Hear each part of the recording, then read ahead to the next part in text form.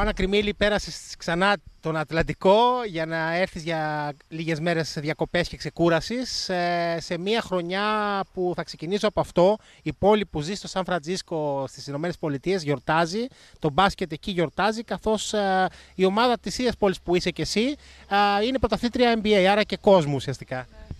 Ε, στεναχωρήθηκα πολύ που δεν μπορούσα να πάω στους αγώνες, στους τελικούς, να δω τουλάχιστον ένα μάτς, γιατί ήξερα, δηλαδή ένιωθα ότι οι Warriors θα το πάρουν φέτος, ε, αλλά έτυχε και ήμουνα πίσω στην Ελλάδα, αλλά είχε, είχα πάει σε έναν αγώνα πριν όταν ο Στεφ δεν έπαιζε βέβαια και ήταν πολύ ωραία εμπειρία. Για να κλείσω με το NBA, το γεγονός ότι έκανε το άλμα εκεί και ένας Ηρακλειώτης ο Καλαϊτζάκης σίγουρα σε χαροποίησε. Ναι, εννοείται. Χαίρομαι πάρα πολύ όταν βλέπω αθλητές ή αθλητέ να παίζουν στο εξωτερικό και ειδικότερα όταν πρόκειται για το NBA. Ε, τον Γιώργο το θυμάμαι πολύ παλιά όταν έπαιζε στο Ηράκλειο. Πήγαινα και έβλεπα αγώνες του γιατί έπαιζε με τον αδερφό μου. Οπότε χάρηκα πολύ που τον είδα και του εύχομαι τα, όλα, όλα τα καλά και να πάει πολύ καλά και του χρόνου. Πάμε τώρα στα δικά σου. Πώς τέλειωσε η χρονιά, τρίτη θέση για το δικό σου πανεπιστήμιο. Θύμισε μας και ποιο είναι το πανεπιστήμιο και πώς πήγε η χρονιά. Ναι, στο Σαν Φραντζίσκο εγώ παίζω. Τώρα ήταν η τρίτη μου χρονιά. Βγήκαμε τρίτες και φέτος και πέρυσι.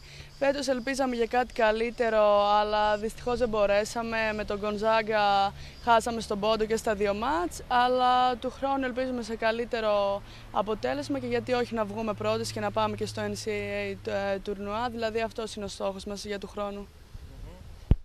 Εσύ σίγουρα έχεις προσαρμοστεί πλέον, ε, έχεις μπει καλά στην οτροπία, οπότε προσωπικός σου στόχος; Ε, προσωπικός μου στόχος ε, είναι να βοηθήσω την ομάδα μου του χρόνου να, να κατακτήσουμε τους στόχους μας και μετά αργότερα θα ήθελα να δοκιμάσω και τα draft. Είναι κάτι που το θέλω πολύ καιρό και το έχω συζητήσει και με το πανεπιστήμιό μου, θα με βοηθήσουν.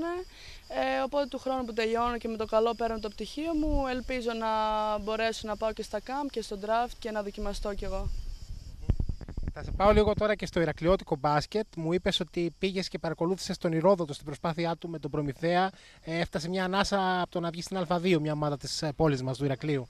Ε, είναι μεγάλη μου χαρά να βλέπω ομάδες και το Ηράκλειο εγώ όταν έπαιζα δεν ήταν σε τόσο υψηλό επίπεδο ε, και χάρηκα πολύ που τις είδα παρόλο που δεν μπόρεσαν να ανέβουν στην Α2 αλλά παρόλα αυτά βλέπω ότι το μπάσκετ και στο Ηράκλειο έχει ανέβει και κάνουν οι προπονητές, προσπαθούν να κάνουν κάτι καινούριο. Μάλλον ε, βγάζουμε και ταλέντα γιατί τα κορίτσια, οι κορασίτες του Ανδρογέννη στις 4 της Ελλάδας.